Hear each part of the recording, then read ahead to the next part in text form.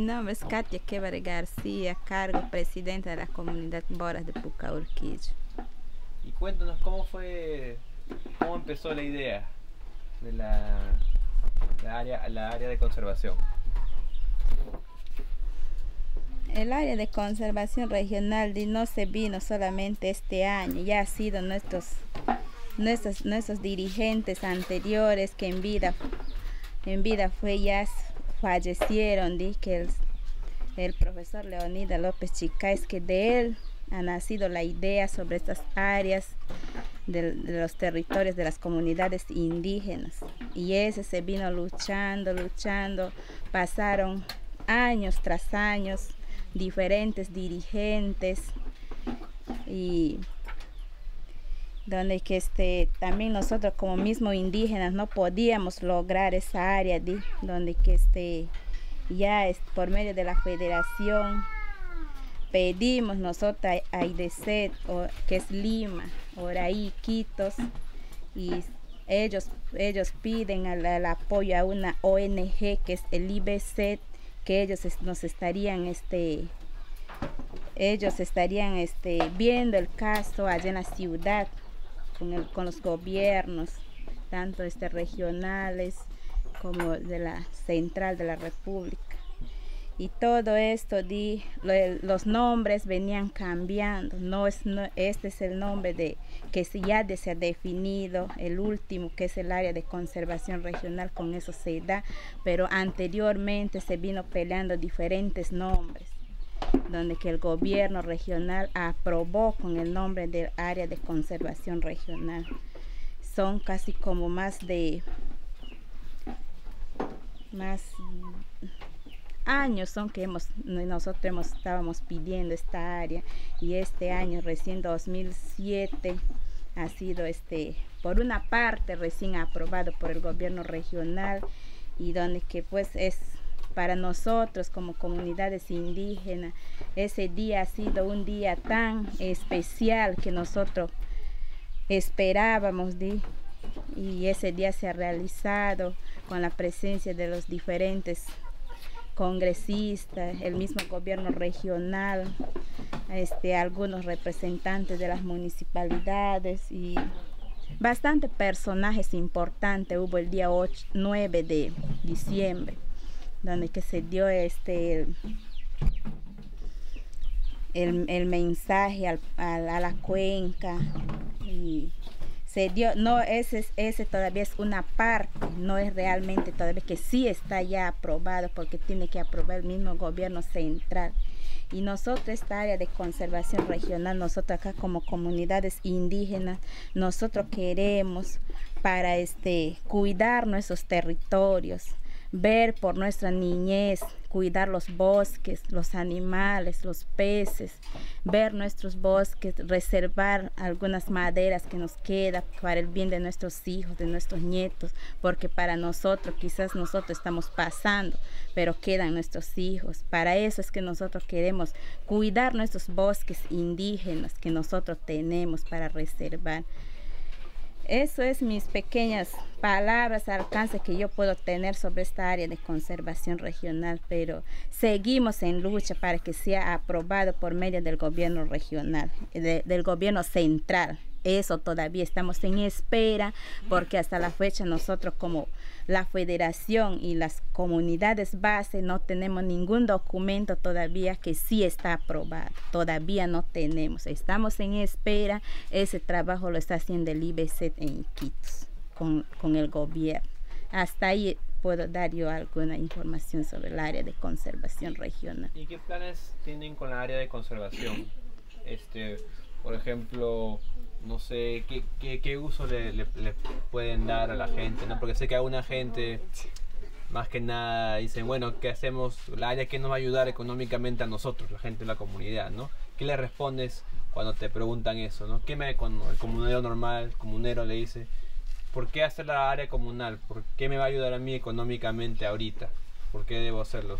Cuando te preguntan eso, ¿qué le respondes a ellos? Para este, para así sostener nuestra este, necesidad, sale de nosotros mismos, nosotros conservamos el bosque, no es porque este, decimos que vamos a mezquinar el trabajo, sino es para controlar adecuadamente, trabajar ordenadamente. Si un comunero quiere trabajar la madera, dice para su necesidad, está, está este, libre el trabajo pero ya controladamente, ordenadamente, ya no como anteriormente se venía trabajando haciendo el desperdicio de la madera. Ahora con esta área de conservación más queremos ordenar el trabajo. Es, esta la pesca, está la madera, está las reforestaciones de las chambiras, que el día de ayer que nosotros las mujeres más trabajamos nosotros la chambira para subsistir las necesidades de nuestro hogar.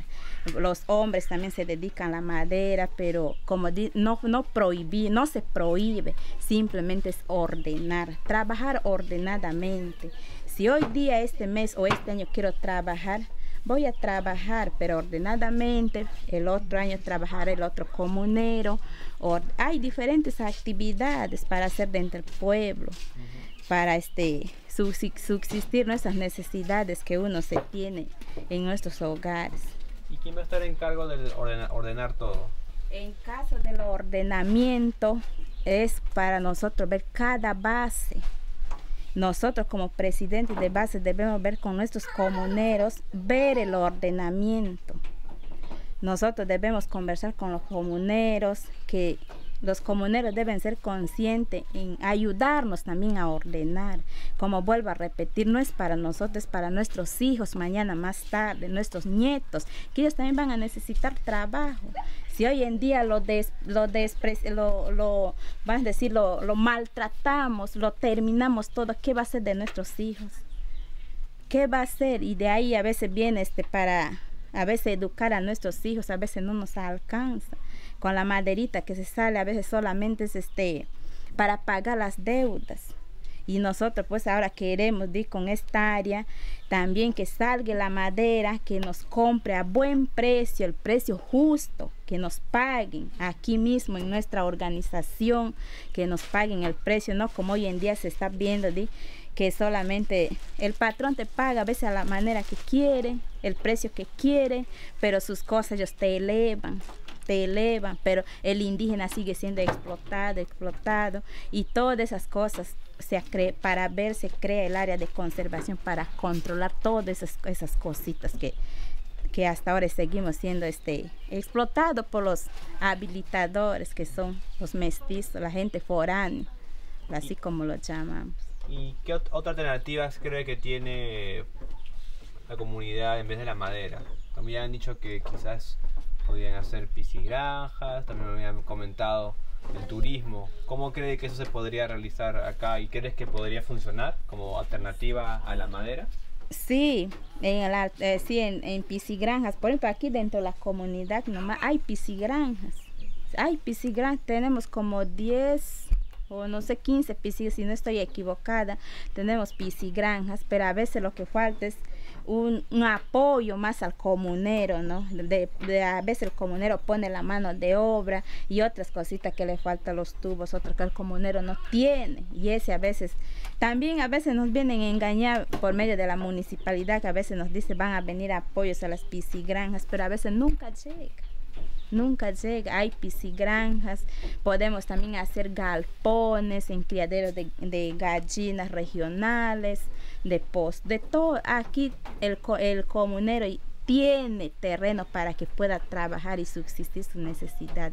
Podemos hacer platanales, yucales, maizales, tenemos para hacer todo, pero a veces no quizás no lo hacemos, a veces por dedicarnos más a la madera a la madera. Aquí nosotros tenemos tierra hasta por gusto para nosotros hacer nuestros nuestros productos mismos ir a vender nosotros mismos. Y ahora que más fácil tenemos ahora tenemos una movilidad que viene del mismo gobierno regional por la Amazonas viene va te lleva con tu producto gratis a Iquitos y ese es para, para mí es un algo bueno que está haciendo el gobierno regional ese a los para los productores, pero por aquí por la cuenca lastimosamente no producimos, además nos dedicamos a la madera.